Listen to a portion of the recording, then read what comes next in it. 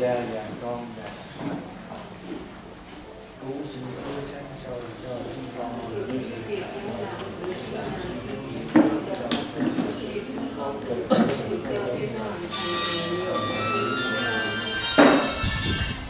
Chúng con cảm ơn Chúa vì hôm nay chúng con gặp các bệnh nhân để chúng ta ờ, chúng con thống nhất với nhau về chuyến đi để trả kết quả về cho mọi người xin Chúa chúc lành các bệnh nhân xin cộng đồng mạng cầu nguyện cho những anh chị em bệnh nhân này xin cảm ơn anh chị em cộng đồng mạng chúng con cầu xin nhờ Đức Kitô chúng con chúng con vì vì dân Chúa nhân từ cho các anh năm thành cho Đức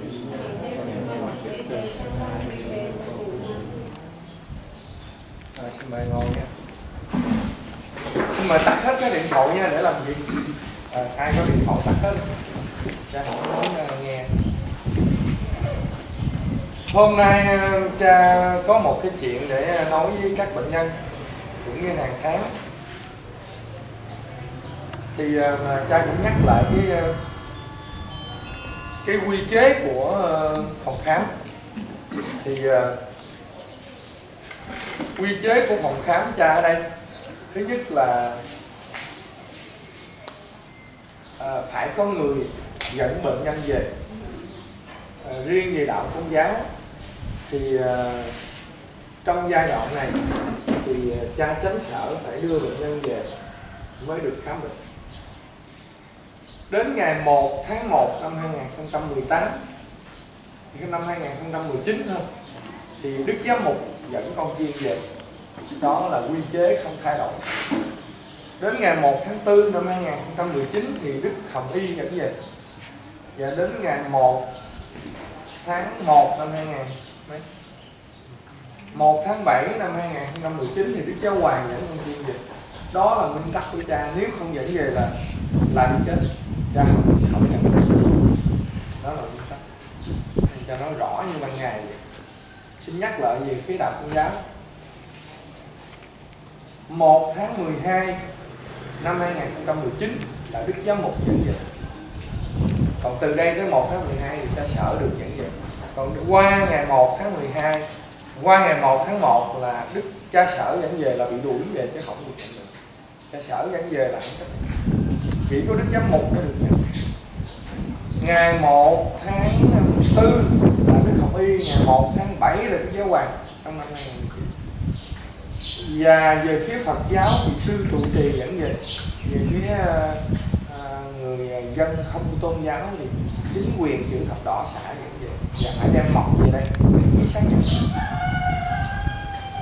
À, cha cũng nói tiếp một cái khó thứ hai là ví dụ như ông chủ tịch chữ thập đỏ xã dẫn một bệnh nhân về đây khám bệnh. Mà nếu bệnh nhân đó chết tại đây thì uh, bệnh nhân đó vui vẻ. Vui vẻ mà chết. Còn nếu như sống lại tại đây thì bệnh nhân nó vui vẻ nha. Đó là có một điểm vậy. Còn nếu bệnh nhân đó mà tự bỏ về tự bỏ phòng khám về hoặc là về không có lý do hoặc là xin về không có lý do thì bệnh nhân đó đi về là nguyên cái xã đó không được ai tới đây. Là cho tiệt thông cái xã đó cho nói trước mất lòng trước ăn làm sao. Cũng như nếu một ông cha mà dẫn một bệnh nhân về đây, mà bệnh nhân đó không chịu điều trị tiếp, mà ban viện chẳng chưa chạy là bệnh nhân đó bỏ về, là ông cha nó vĩnh viễn không được dẫn con chiên nữa. Trong họ đạo nó vĩnh viễn không được ai tới. Bởi vậy đây cha chữa bệnh không phải chỉ nhắm tới một cái xã vĩnh kim, hay là một cái xã, hay là một nhà thờ đó, hay là một cái cái cái chùa đó và cha nhắm cả 196 quốc gia. Chứ cha không nhắm chỉ có một sạn, đó là cái nguyên tắc của cha khám bệnh là như vậy. Vậy thì một con ngựa đau thì cả tàu sẽ bỏ cỏ luôn. Một con ngựa một người bệnh ung thư mà về đây mà không làm đúng phát đồ bỏ chạy rồi thì cả cái vùng đó bỏ luôn không được phép. Cha không nhận người nào trong vùng đó. Đó là đó là cái khó của cha. Đó chính mới chính là cái khó đó còn cái dẫn về nó khó nha. Đức hồng y dẫn về không khó mà đức giáo hoàng dẫn về không khó. Mà khó ở chỗ là anh dẫn về một lần rồi mà nếu không được cấm anh dẫn luôn. Dạ à. cấm anh dẫn luôn nên đó là cái khó đó. Đó mới là cái khó thật sự đó. À, hai bữa nay thì à, các con chiên về đây đều không nhận được. Vì không có cha xứ dẫn về dù cho ở xứ nào cũng vậy là không được nhận được. Vì đây là cái nguyên tắc của người cha. Khi cha là nói rằng cái bệnh này là bệnh lớn. Bệnh này mà không có người đi theo luôn. Không có người dẫn về là sao riêng về phía bệnh nhân thì đi nuôi bệnh bệnh nhân phải có người nuôi. Thứ nhất là người nuôi đó phải là người lớn tuổi tuổi gì cũng đi mà người đó phải là con của bệnh nhân hoặc là chồng của bệnh nhân hoặc là vợ của bệnh nhân hoặc là cha mẹ ruột chứ còn người ngoài ta không cho nuôi. Đó là nguyên tắc của cha đưa ra. Vậy nếu nếu không chịu như vậy thì cha không cứu bệnh nhân. Vì cha không nghiêm túc cái pháp lý đó thì không sao nó đụng cũng gì? Khó lòng. Khó lòng cho bệnh nhân và khó lòng cho phòng khám và khó lòng khó lòng cho bệnh nhân. Đó là những cái ta nói trước là mọi người. À, ai mà có giới thiệu bệnh quen quen mình á phải theo nguyên tắc đó mà làm. Còn nếu mà cứ sáng xả đi về hay là đi về để sinh thì không được gặp ai đâu. Kiếm cha khó lắm, không được gặp cha đâu nha. Cha nó cứ ngược lại, các bệnh nhân đang có mặt ở đây thì chúng ta làm cái gì chúng ta cũng phải làm cho nó tới nơi. Ví dụ như tôi đi tôi đi ờ, làm tôi đi làm việc thì tôi phải làm cho hết giờ. Thứ nhất là tôi phải đi làm đúng giờ và tôi làm hết giờ. Chứ tôi không thể nào mà đi không đúng giờ mà làm không hết giờ. Thì tôi không thành công. Vậy thì ngược lại, tôi đi khám bệnh cũng vậy. Tôi đi chữa bệnh cũng vậy. tôi phải đi chữa cho ra bệnh và chữa cho hết bệnh. Đồng ý không? Tôi đi chữa bệnh là tôi phải khám cho ra bệnh và tôi chữa cho hết bệnh rồi tôi về. Sau khi tôi hết bệnh rồi, tôi trở về nhà, tôi không còn mất thời gian, tôi khác khám chữa đó nó là như vậy. Vì thế à, để cha nói chuyện đó thì cha nói chuyện này. Ở trên các bệnh viện trên thế giới bây giờ, khi mà một bệnh nhân vào khám bệnh, nằm bệnh viện, vừa bớt bệnh là bệnh viện cho xuất viện liền. Nhưng mà bác sĩ có nói mình sạch bệnh không. Không. Chỉ nói rằng anh ra viện thôi. Chứ không có nói là anh sập bệnh hay là hết còn ở đây khác. Ở đây mà khi mà đã ký cho một cái quyết định rồi thì anh trở về với một con người sạch bệnh chứ không có còn là nói là ờ, tôi mới là ở đây hai cái khác nhau nha. Ở bệnh viện thì anh vô bệnh viện nằm một tháng, hai tháng, ba tháng, bốn tháng, năm tháng gì. Khi anh ra viện rồi hỏi anh hết bệnh chưa? Nó mới đỡ đỡ thôi. Hỏi, hết ung thư chưa? Không biết đó nè. Nhưng mà khi đến đây trị bệnh rồi, quay trở về nhà, hỏi này hết ung thư chưa? Hết rồi. Hết ung thư. Hết ung thư.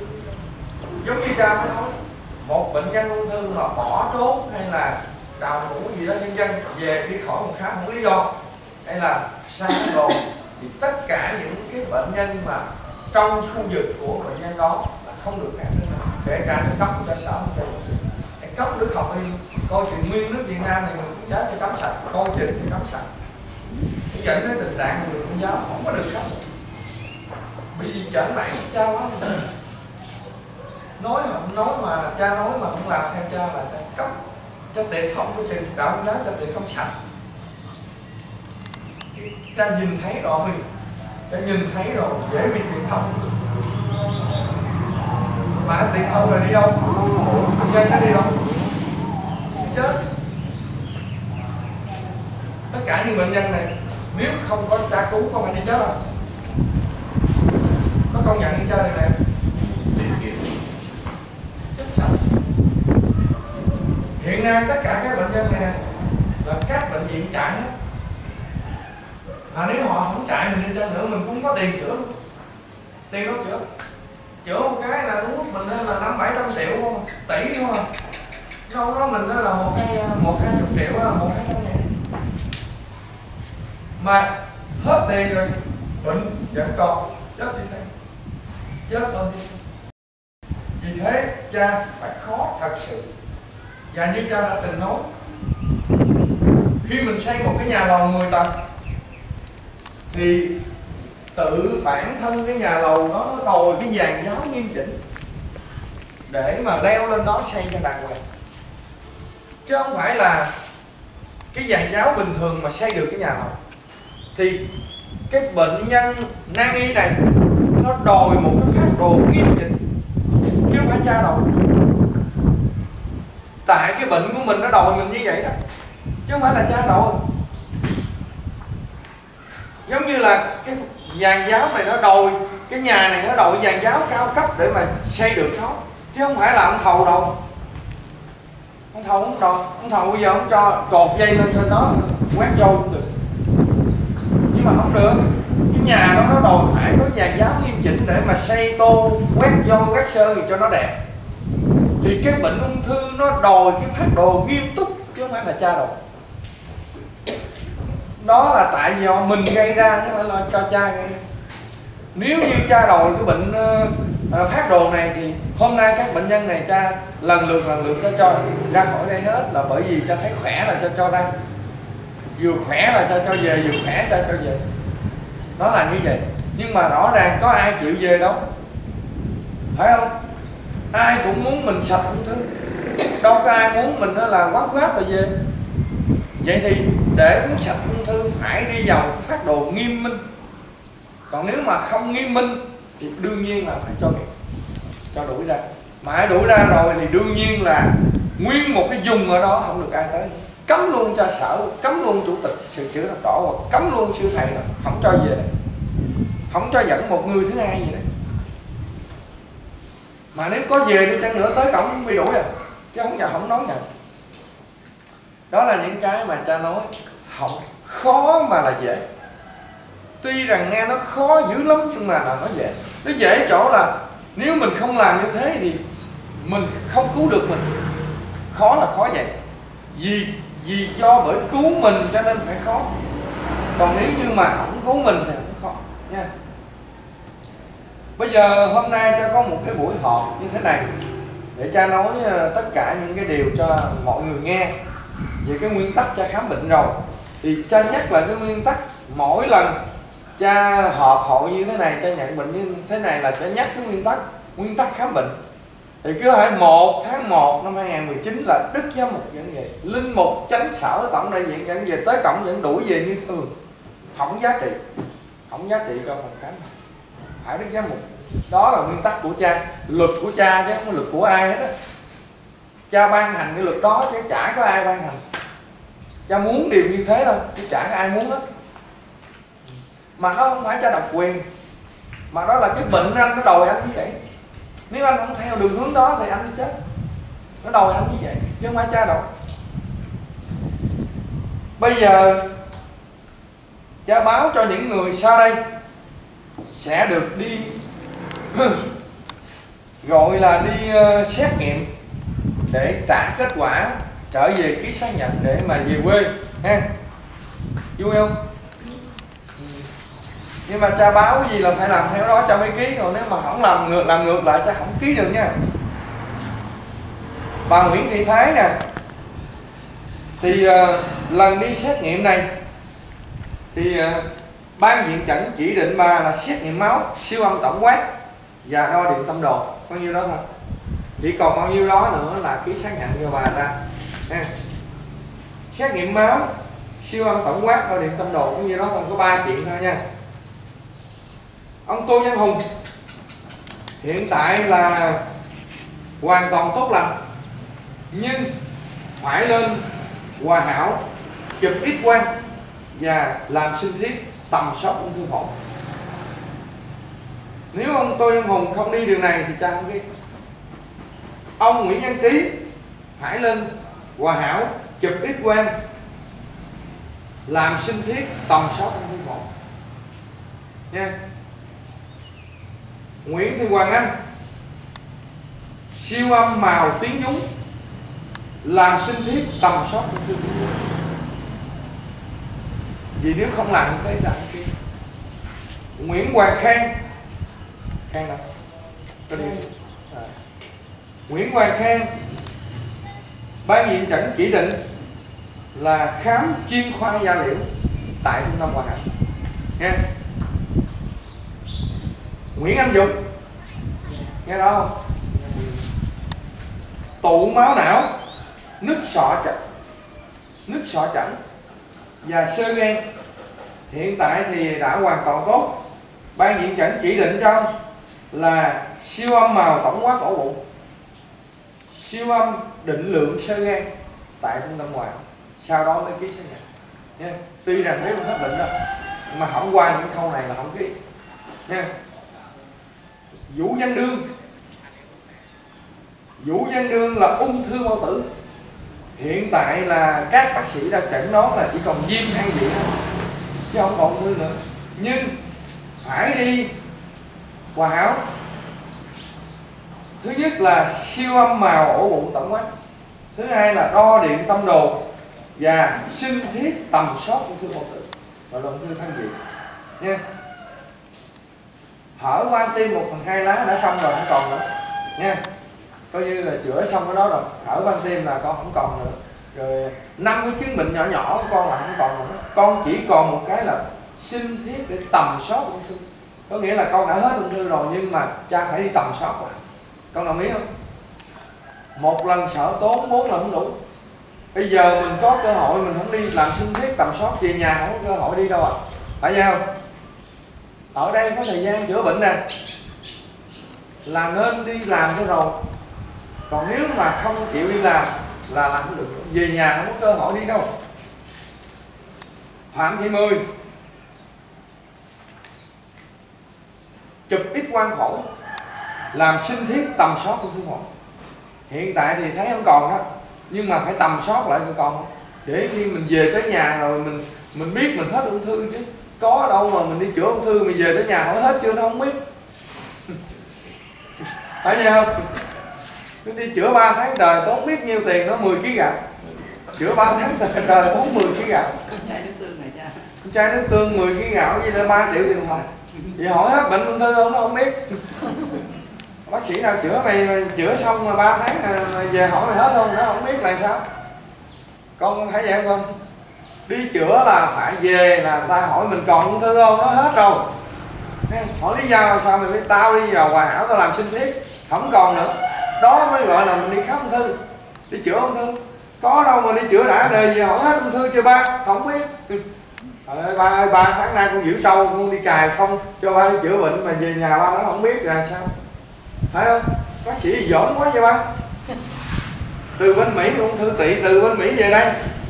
Mà chữa bệnh xong rồi thả về bên Mỹ hết. Tôi tị cho ba, nó không biết. Trời ơi, ba ơi. Ba tháng nay con làm neo tay ba. Làm neo cho ba, cũng giữ tiệm cho ba. Mà giờ ba về, ba nó không biết là sao. Thì ba đi ba tháng nữa. À không? được. Phải làm cho tới nơi tới chốn tại đây. Nha. Rồi, khúc sau mình không bị lủng cục. Mình phải cân đo đong đếm cho sát sườn tại đây thì khi mình được trở về nhà thì ai hỏi mình hết bệnh chưa mình nó hết liền. Mình không có cục giống như là vừa rồi mình ra 5 ca. Thì có hai ca làm sinh thiết còn ba ca là không cần làm sinh thiết. Hòa hảo cần là ca của chị nhung và ca của chị đào. Nha cái gì? Nhiều chị quá cha không nhớ. Phương chị phương và chị đào khi chị vào đây chỉ là ung thư vú ác tính. Sau hai tháng chị đi làm sinh thiết thì làm sinh thiết là lành tính. Vậy nó mới kia. Và trở về nhà hỏi mẹ ơi, con giữ bò cho mẹ hai tháng nay, mẹ về nhà mẹ hết bệnh cho mẹ nó mẹ hết rồi con. Còn mẹ ơi, con giữ bò hai tháng nay, về nhà, mẹ về, mẹ còn bệnh hơn mẹ nó mẹ chưa biết con. Trời ơi, nó rầu vô cùng rầu. Cha không chấp nhận chữa bệnh vậy. Ha thà chết ở đây vui vẻ ra về chôn luôn. Phải không nè? Còn nếu trở về nhà mà mẹ mẹ hết ung thư rồi con. Phải không nè? Mẹ hết ung thư rồi. Như vậy mình mới vui vẻ. Nha. Các bệnh nhân mà cha vừa chỉ định đó là có mặt tại đây vào ngày 11 14 tháng 8 là 8 giờ tối có mặt tại đây để à, ăn cháo gì đó các thứ rồi sau đó là cấm ăn luôn. Cho đến khi khám bệnh rồi mới được ăn. Ha? Trên đường đi thì có thầy thanh và thầy tâm đi theo để lo lắng cho những người khác. Tất cả các bệnh nhân đều đi một mình, chỉ có hai bệnh nhân sau đây được chỉ định người nhà đi theo. Đó là phạm thị mười. Có người nhà đi theo. Bệnh nhân nguyễn anh dũng có người nhà đi theo.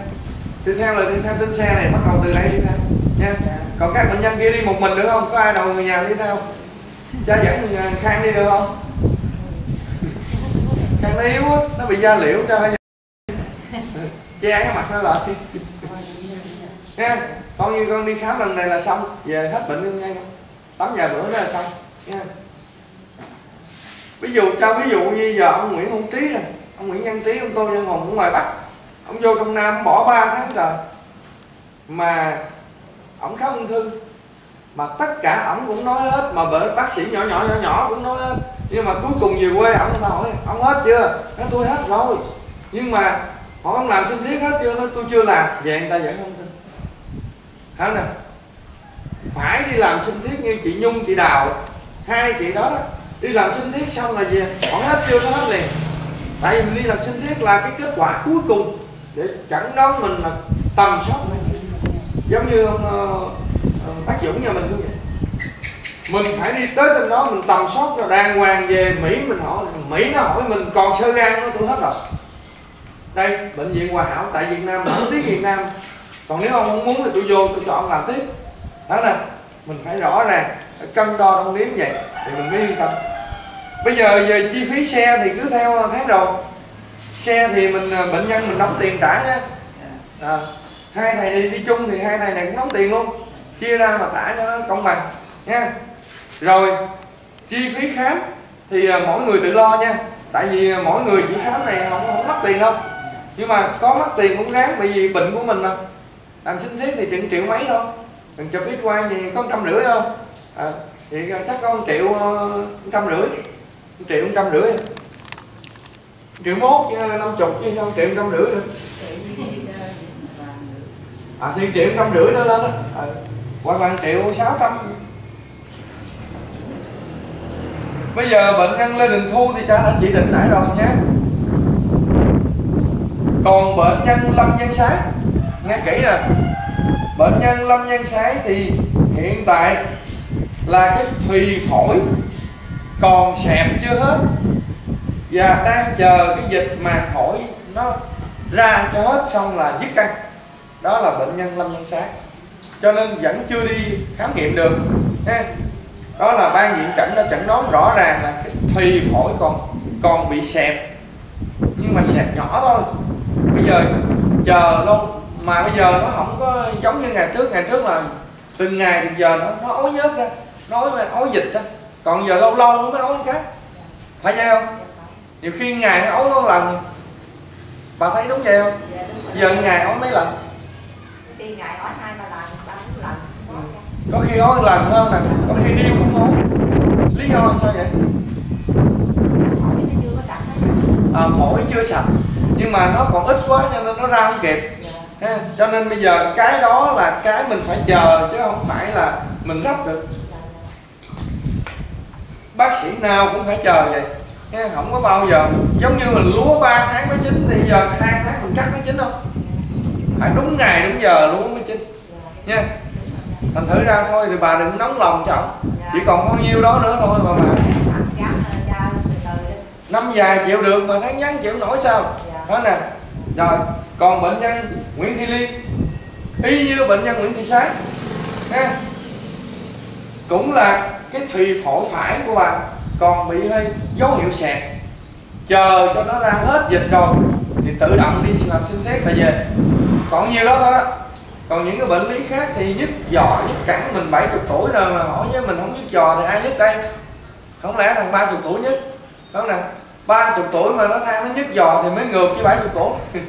Còn 70 tuổi mà than nhức mỏi thì bình thường nha nhiều khi mình nằm trong phòng khám tối ngày mà không đi đâu thì đương nhiên nó phải quể quải thế nè, chuyện đó bình thường không lạ lắm gì.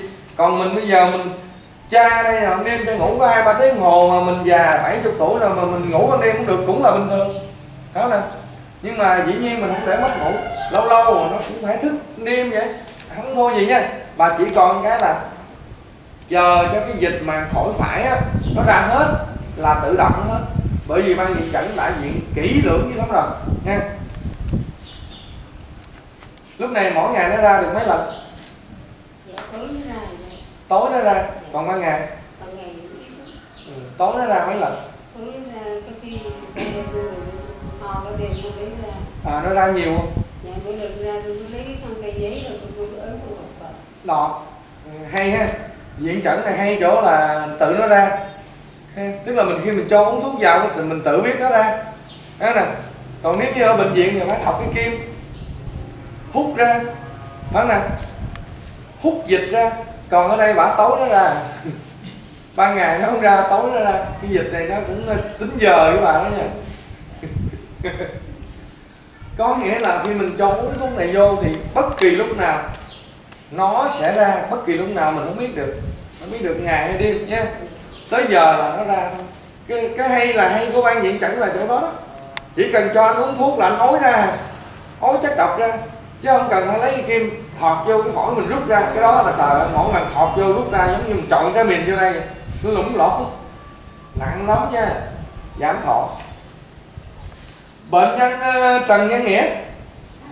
À, bệnh nhân trần nhân nghĩa thì ờ, hiện tại là ung thư lưỡi. Ung thư sàn miệng đã khống chế hoàn toàn không còn không còn di căn không còn ung thư ung thư nữa nhưng mà cái lưỡi nó bị ừ, cái lưỡi nó bị ung thư 1 phần 2 1 phần 2 cái lưỡi tức là ung thư nửa lưỡi. Mà đã khống chế được hết rồi bây giờ chờ cho nó xẹp thôi. Nay xẹp đỡ chưa? Nay nói chuyện được phải không?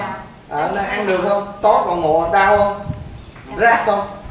Hết đau hết rát rồi ăn được ngủ được. Vậy thì chỉ còn chờ cho nó hết thôi chứ không còn gì nữa hết nha. Có nghĩa là còn xử lý cái tổn thương đó nữa thôi. À, chứ còn ung thư nó đã qua rồi nha. Bệnh nhân Nguyễn Văn Hoàng. Nguyễn ờ, Trần Thị Hoàng phải không? Trần trần à, là ung thư lách. Cái lách đã mổ rồi. Đó là cắt rồi. Đó nè bây giờ hiện tại là bệnh nhân này chỉ giữ cái cái vấn đề là không cho nhiễm trùng là xong. Theo thời gian là uống thuốc là xong. Bệnh nhân này hiện nay không đau nhức đó nè à, cũng không khó chịu. Tại vì đã bị cắt hết rồi.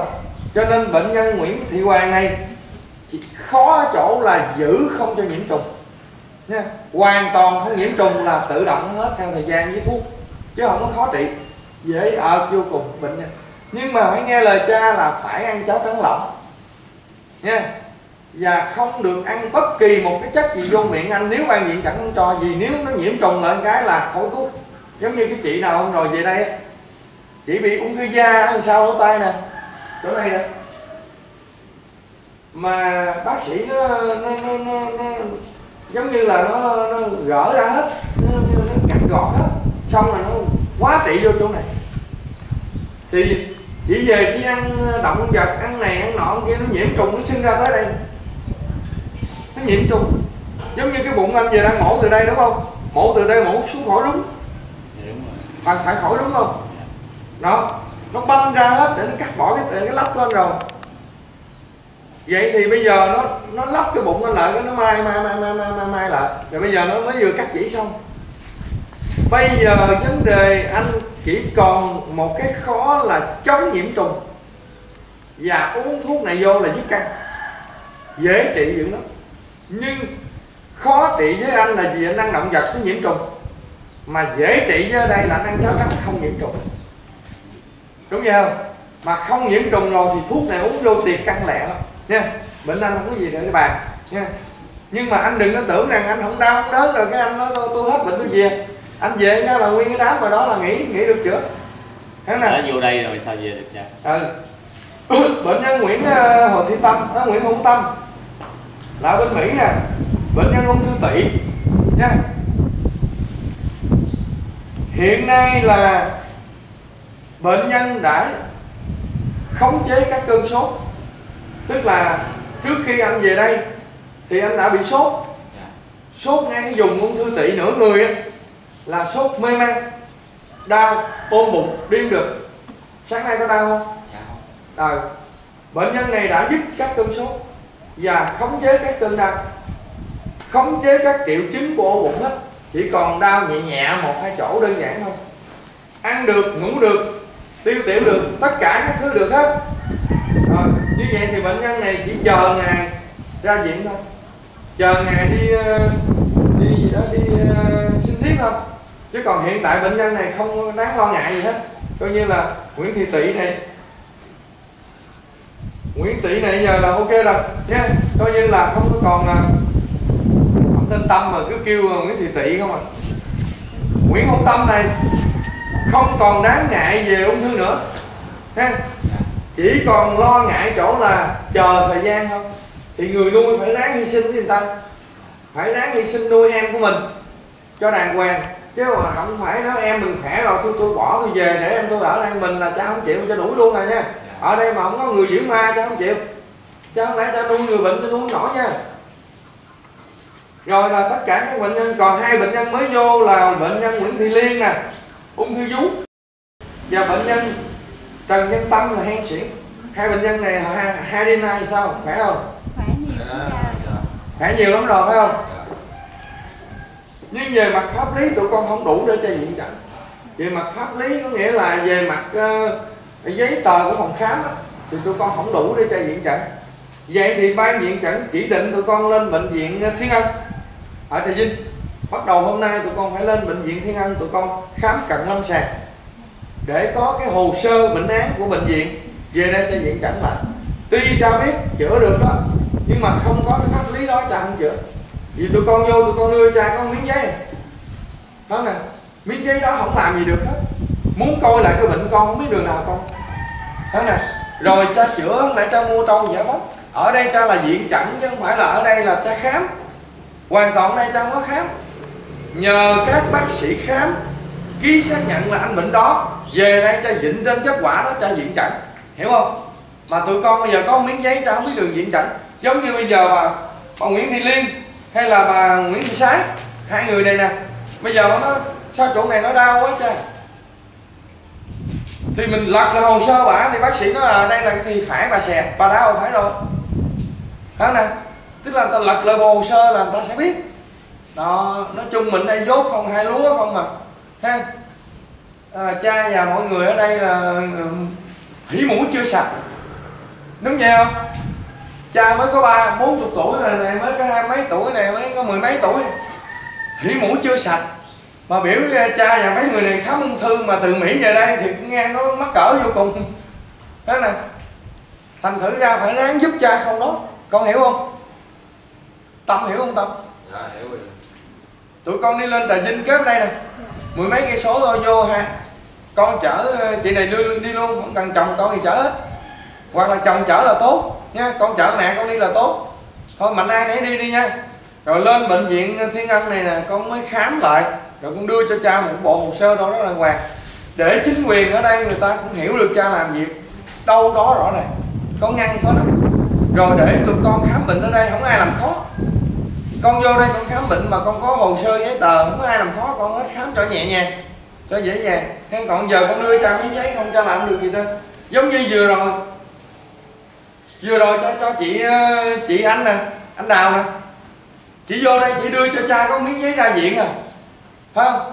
Không biết là khám làm sao. Thì khám một tháng là thấy ổn rồi, cho đi lên chợ rẫy, cho đi lên ngoài hảo xét việc xét việc để vừa vừa dịnh tới hồ sơ đó để khám tiếp chứ không phải là tháng rồi cho con đi là con hết bệnh. Nhưng may mắn thay là con đi là bác sĩ nói con là không có xâm lắm, ha thì tháng này con đi làm sinh thiết cho xong. Đó là như vậy. Những ai mà cha cho đi khám là có lý đều có lý đó cái lý đó mình cha không phải giải, không thể giải thích được cho từng người nha lâu lâu cái việc tập chung vậy cha mới nói nha. Vậy nãy giờ cha đã chỉ định từng người một hết rồi nha. Đâu vào đó rồi lên đường thu cũng vậy nha bây giờ xuống ờ, đi cùng với thầy tâm xuống bệnh viện cầu ngang để xét nghiệm máu. Nếu như mà xét nghiệm máu về mà cái hồng cầu tiểu cầu nó đủ thì mình tiếp tục. Còn nếu nó thiếu thì buộc mình phải đến bệnh viện mình vô máu xong về mình chữa tiếp. Được không nào? Vậy nên cho mình kết hợp cho nhanh nha. Kết hợp cho nhanh. Cần cái gì ở tây y thì mình cứ đi tây y. Rồi nếu mà tây y mà đi xong rồi về tiếp tục à, nam nam y đây là thuốc nam hay nam y như vậy phải không nào? Ừ. đông y nha. Vậy thì nhưng ai muốn đi tây đi đâu phải để ban viện trận chỉ định mình đi mình đừng có đi ẩu. Mình đi ẩu người ta làm cũng được. Nha. Nó là như vậy rõ ràng rồi á. Vậy thì hai bệnh nhân mới vô là con đi lên bệnh viện thiên ân khám đâu đó đàng hoàng trở về đưa cái hồ sơ bệnh lý đó cho cầm trong tay đây để khám cho. Ngon lành. Nguyễn thị thu cũng vậy. Nha. Cứ đi theo thầy tâm và bắt đầu theo sự hướng dẫn rồi tất cả những bệnh nhân còn lại mà chưa được đi hòa hảo thì hãy nhớ bệnh của mình nó còn nhỏ lắm. Còn những bệnh nhân mà đi hòa hảo rồi hãy nhớ chỉ còn tầm sót coi còn bao nhiêu. Chứ không phải là mình không hết nha. Mình đi tầm sót có nghĩa là cho tất cả nha còn bệnh nhân uh, Nguyễn Thị Hoàng này là không đi đâu nữa. Nha chờ tới ngày đi chờ lại đi ờ, uh, hòa hảo tầm sót thôi. Nhưng không được ăn bậy nha. Nghĩa như vậy nha không được ăn bậy nha phải nghe lời cha nha. Nghe lời cha mới giữ được mạng sống nha. Con nghe lời giữ được. Cho con ý kiến chút nha cha. Con có bệnh án ở ở ung bú bây giờ. Con cho chồng con về sinh cái bệnh án được không cha? Được tốt lắm con. Dạ. nhưng mà sinh nó cho có đầy đủ hồ sơ hết ở à. bệnh viện ung bú hết rồi. Nhưng mà sinh nó cho ý là con mượn con photo á chắc cho. Bây giờ không quan trọng con cứ lên thiên ăn là cho nha. vì con đi đây là quan đêm ai giữ con? Chồng con đi là ai giữ con? Rồi con ở giữa ngay nhà trọ rồi con chết là ai ai làm chứng đây? Đúng nè ví dụ như cào chồng con về qua một hai đêm thấy không? Dạ. rồi rủi một hai đêm con chết nhà trọ rồi ai làm chứng đây? Rồi con không nói gì được trơn rồi con nói uh, người này người kia làm khó con rồi con mới chết rồi khổ lắm con. Nha thôi cứ lên thiên ăn khám là được đó. Nha còn ai ý kiến gì không? Ừ? có ai không vừa bụng gì không? Vừa bụng hết chứ có gì đâu trời ơi rõ ràng ban viện chẩn lo cho từng người một chứ đâu đâu bỏ người nào đâu. Phải không? Ban viện chẩn là thấy từng người một như từng đứa con vậy mà. Rõ ràng như cha nói đó nha nuôi một người ung thư đó, là như nuôi một đứa con. Như nuôi một đứa con vậy tối ngày cứ ăn rồi ung thư ăn rồi ung thư không chứ không biết ăn người ta ăn rồi nó đi chơi đầu này đầu kia, tụi này tối ngày ăn cơm rồi ung thư, ăn cơm rồi ung thư trời ơi, đi thăm cái ông tị ngày tám giác mòn cái giác luôn ừ. ví dụ vậy đó ừ. ăn rồi cứ ung thư, ăn rồi cứ ung thư, không, riết mình ung thư luôn Thấy không? Ừ. vậy cha nói là một điều nữa điều quan trọng của cha nói ở đây là chúng ta phải cố gắng sống sao cho nó tốt lành trong quá trình khám bệnh. Để mình không phụ lòng những người khám bệnh mình, và để mình có một cái cơ thể cường tráng, khỏe mạnh, không có bệnh ung thư. Đó là điều cho mong một. Sau khi mình mạnh khỏe rồi, mình trở về mình sống tốt lành với chồng sống láng giềng yêu thương và cho không chồng sống lá viền. Còn ở đây, cha trị bệnh không có tốn một xu, một cách nào hết. Tất cả đều là yêu thương và cho không. Cha không đòi tiền ai bất kỳ cái gì cha không đòi ai hết. Và cha phải lo cho tất cả mọi người. Như một đứa con cha đẻ ra. Như một đứa con cha đẻ ra. Và như một vị tổng thống mà đang coi cai trị cha vậy. Nếu mà nhìn như một vị tổng thống thì ví dụ như giờ vô trong phòng, không có quạt, bắt cái quạt, không có đèn, bắt cái đèn, không có nước, bắt cái nước dân dân tất cả như một vị tổng thống đang cai trị và chăm sóc cho một người bệnh như một đứa con cha đẻ ra. Vậy thì tất cả mọi người hãy cố gắng nha hãy cố gắng mình nói với lòng mình mình sẽ cố gắng để mình hết bệnh. Để mình nhờ chứ không ai nhờ cả. Mình hết bệnh là mình nhờ chứ cha cũng không nhờ mọi người cũng không nhờ. Để bản thân mình được nhờ. Vậy mình cố gắng nha. Rồi mình bệnh tật như vậy mình cũng bớt đi khỏi phòng nha. Và cũng bớt uh, uh, bớt nói chuyện không cần thiết nha. Rồi mình cũng và hạn chế người thăm mình cái người thân nó quan trọng lắm á. Nó thị phi là mình mình mình bị rối lên. Nó thị phi là mình bị rối lên là bắt đầu mình bị phân tâm là mình chữa bệnh không được, là mình về mình chết á. Cha nói trước là mình bỏ đây là về chết đó nha. Bỏ đây là về không sống nổi đâu, nha. Mà giờ đâu có chỗ nào đâu mà nó chữa mình. Mà nó vô thấy mình ăn cháo trắng ăn cái cỏ nó thị phi lôi mình ra liền. Mà nó lôi mình ra là đồng nghĩa là mình đi chết. Không có chỗ nào mà giỏi hơn chỗ này đâu. Sao? Đó là tiếng hay sao? Có ý kiến cho nghe được không dạ, dạ đúng rồi. ờ chắc à, sao? Không có nơi nào khác thì đúng. về phía ung thư không có chỗ nào giỏi hơn chỗ này. Con trai dám khẳng định. Không có chỗ nào giỏi hơn chỗ này hết. Cho nên cả gan mà nghe những lời thị phi rồi là mình đi chết. Dạ. Thà là nghe cái miệng cha để mà đi sống. Còn hơn là nghe lời lộn xộn là đi chết. Cha dám khẳng định 196 quốc gia này chết sạch. Yêu thương không có cha là không ai cứu ra nó mạnh không? Con thấy sao? Đó bây giờ à, bây giờ cái ông tỷ với ông à, à xin à, mời con ngồi ông tỷ với ông à, ông bác dũng nhà mình nè. Từ bên mỹ nó chạy về đây ung thư. Không có cha là đi chết sạch đi. Không có chỗ nào giỏi hơn chỗ này đâu. Vợ con cho hai bữa hay sao? Liên á. Chồng liên á con thấy vợ con hả? thấy khỏe rồi nha. Khỏe rồi ha. Con mừng không? Phải mừng nha. Vợ con nó đẻ cho con hai đứa con là con phải lo nó tới cùng. Nhờ nó mà con có hai cái hình ảnh của con ở thế gian này. Đó nè để lại cho đời con chết con để lại cho đời thế gian này hai cái hình ảnh của con. Chứ không phải một. Con nhìn đứa con là con thấy con liền. Đúng không? Con nhìn đứa con của con là con thấy con liền tại chỗ vậy thì con phải cưng nó là con phải lo cho nó con không được không được uh, hạ hiếp nó nữa nha. Không được nha. Cho nghe nó đánh đập nó tùm lum đang là dở. Không được nha. Rồi ngồi xuống đi. Từ nay ra đi là phải bỏ tư tưởng khó khăn với vợ nha. Nó đẻ cho mình hai đứa là hai cái hình ảnh của mình á. Khó lắm nha con. Khó khó được cái ơn lắm. Phải cưng nó đàng hoàng nha. Phải lo lắng cho nó chu đáo.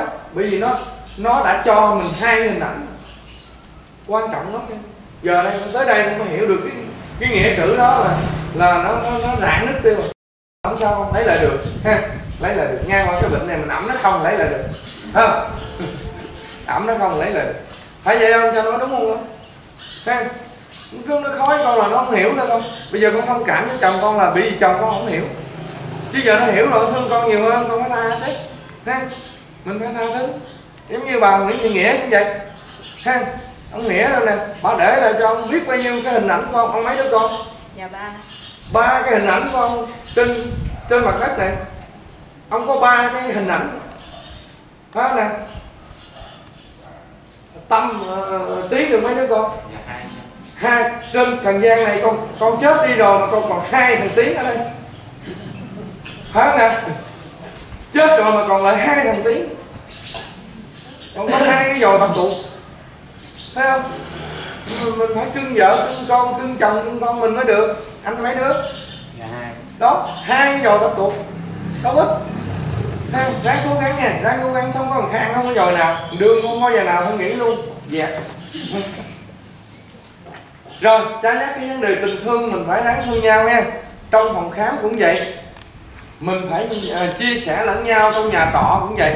Mình phải biết giúp đỡ lẫn nhau. Khi bệnh hoạn cũng như lúc gian nan còn giờ đây là bệnh hoạn rồi, còn khi gì nữa? Người nào cũng bệnh hết, mình phải ăn nói cho vừa lòng nha. Nha, mình phải an ủi nhau, mình phải động viên nhau, mình phải khích lệ nhau, mình phải giúp đỡ nhau bằng mọi hình thức. Nhớ về cha tường đã lo lắng cho mình như vậy.